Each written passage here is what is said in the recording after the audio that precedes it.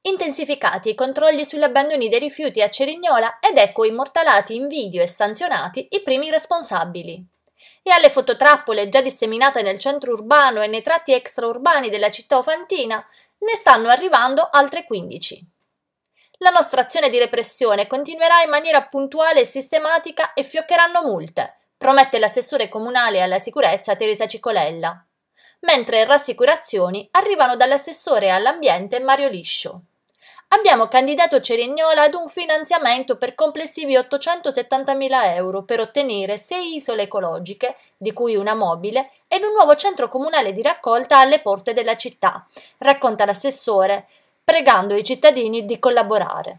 Solo due giorni fa abbiamo ripulito totalmente le rampe di accesso alla statale 16, ma dopo qualche ora gli incivili si sono nuovamente palesati.